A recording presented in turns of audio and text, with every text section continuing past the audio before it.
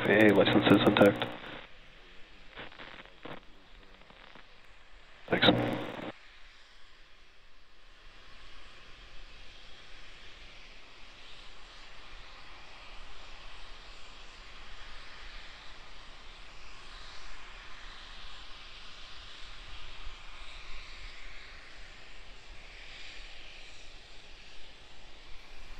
We're at T minus five minutes to our second launch attempt of the Starship 10 test flight.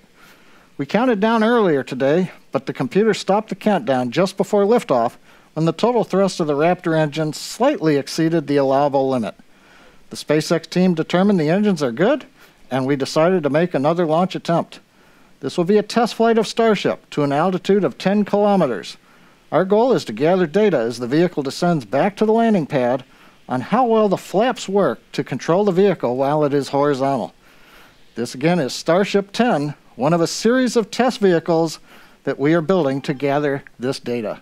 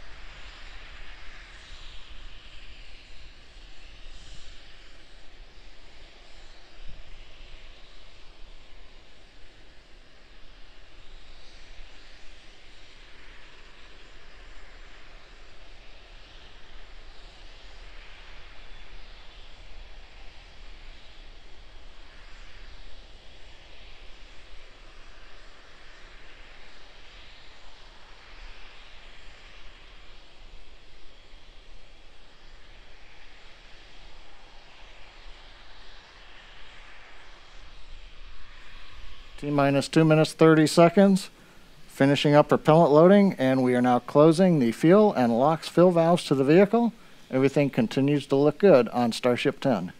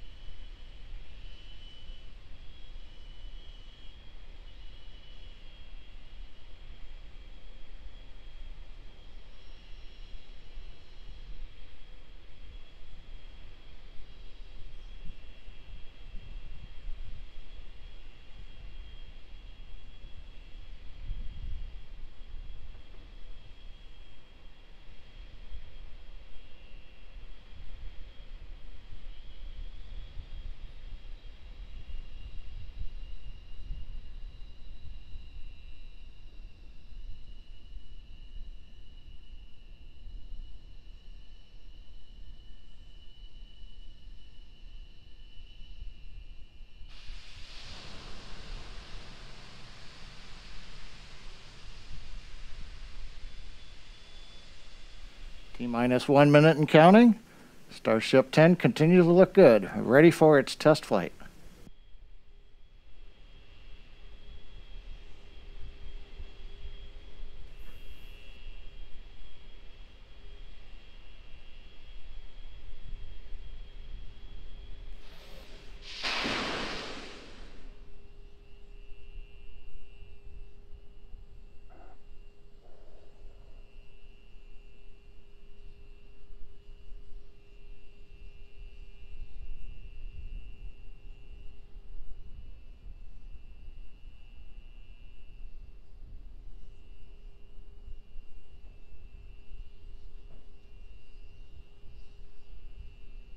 Minus 30.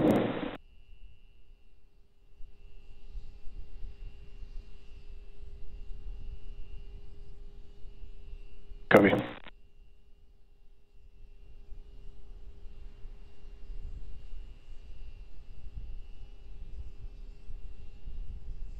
T minus 10, 9, 8, 7, 6, 5, 4, 3, 2, 1.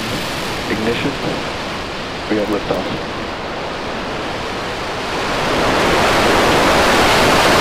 All teams triage alerts, please.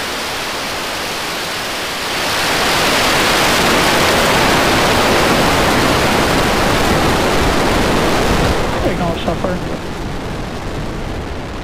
FC2, please prepare for section 35. OSC, FC1, LVN.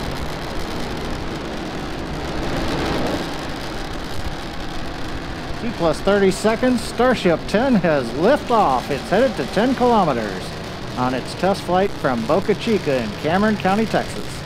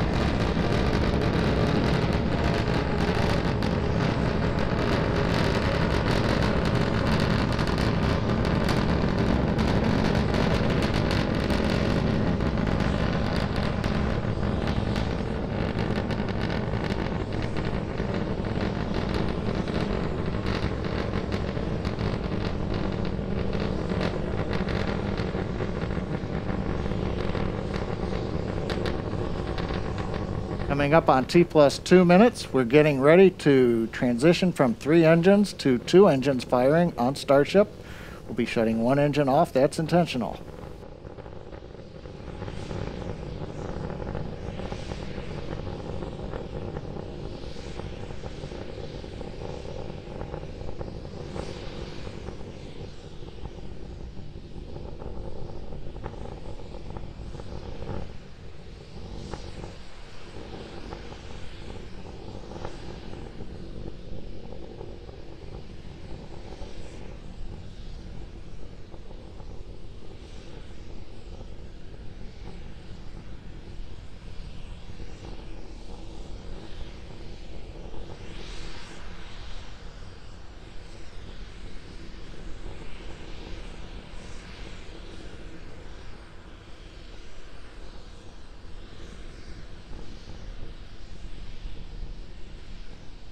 T plus three minutes and counting. Starship coming up on eight kilometers altitude.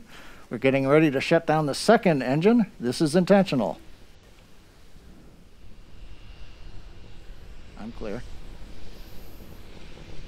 Oh, very nice, very nice.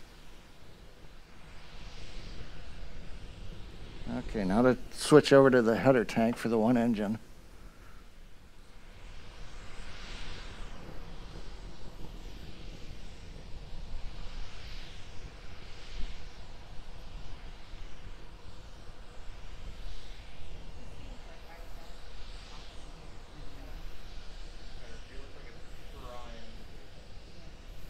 Okay, I'm going to come back up when we hit 10 kilometers, right about in three seconds. Coming up on T plus four minutes, we're at 10 kilometers. We've gone into the hover. We're still being powered by the single Raptor engine.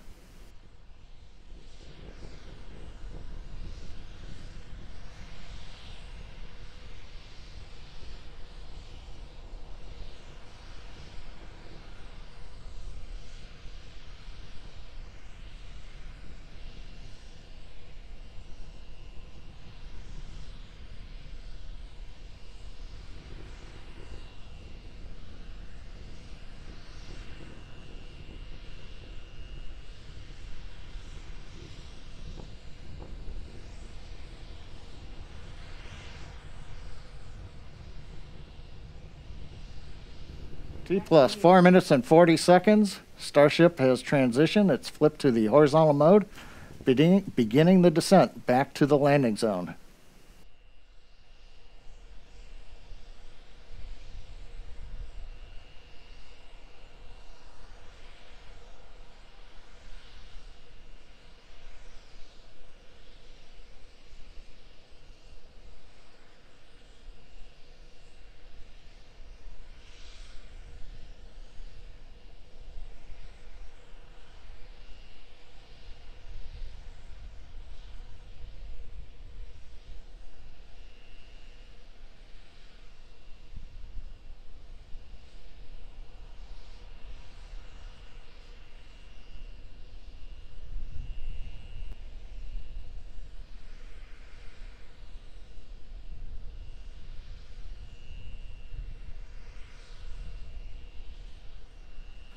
Coming up on 5 minutes 45 seconds, we're down below 2 kilometers. We're preparing to light three Raptor engines to begin the flip sequence. It'll culminate with landing on the landing pad in Boca Chica.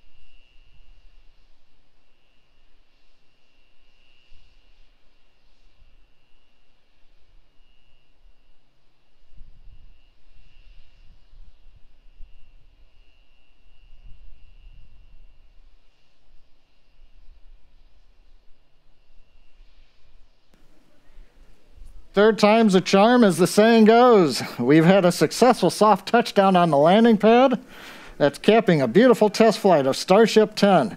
As a reminder, the key point of today's test flight was to gather the data on controlling the vehicle while re entering, and we were successful in doing so. We had a nominal ascent. We had the maneuver to place Starship horizontal when we reached 10 kilometers right on time. And then during the subsonic entry, it appears we had good control of the vehicle using the front and aft flaps.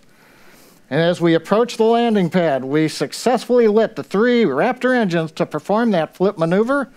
And then we shut down two of them and landed on the single engine as planned. A beautiful soft landing of Starship on the landing pad at Boca Chica. Also, a congratulations to the Starship team in Texas They've steadily increased the test launch cadence over the course of the program and have delivered some of the most exciting test flights many of us have seen in a long time. The Texas team has several more suborbital test vehicles in build, with number 11 ready to roll out to the pad in the very near future. It's an inspiring time for the future of human spaceflight. Thanks for joining us today, and we hope you'll join us for the next test flight of Starship 11.